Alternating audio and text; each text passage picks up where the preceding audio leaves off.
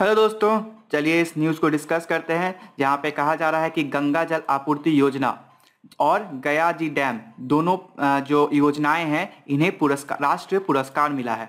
तो हम देखते हैं कि कौन सा राष्ट्रीय पुरस्कार मिला है। तो राज्य के दो अति महत्वाकांक्षी परियोजना, गंगा जल आपूर्ति योजना और गया में फाल्गु नदी पर निर्मित गया जी डैम को शुक्रवार को दिल्ली में आयोजित समारोह में अवार्ड का नाम है सीबीआईपी अवार्ड 2022 को प्रदान किया गया।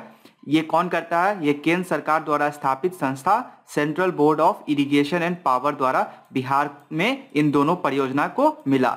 तो ये इंपॉर्टेंट हो गया आने वाले एग्ज़ाम में। Thank you